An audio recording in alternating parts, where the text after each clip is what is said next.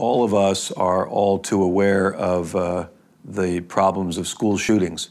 And in every one of those cases, there were warning signs. There were things that other people were aware of. Either direct threats were made or unusual things were written for school projects that talked about school shootings. But whatever the actual warning signs, people intuitively knew that the person was being pushed too far. And it doesn't mean you have to think, oh, that kid's going to bring a gun to school. You just have to think, that kid's suffering. Because the universal warning sign for explosive violence is suffering.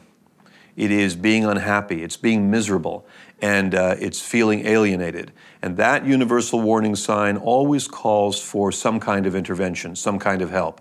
And I can tell you that throughout my whole career, all the people I've interviewed who thought about doing violence or thought about doing suicide and didn't will have a story of someone's kindness that the, the kind person thought uh, was minor.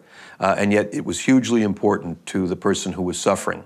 And so when we see someone who is suffering, who's miserable, who feels alienated, a single word from a popular kid or a single word from somebody who hasn't been my friend to this point of kindness or of acceptance or of recognition or of asking how I'm doing, uh, how far that goes, how much that helps, and uh, how you don't feel alone, alienated, which is really the key thing that we're trying to improve people not feeling alienated.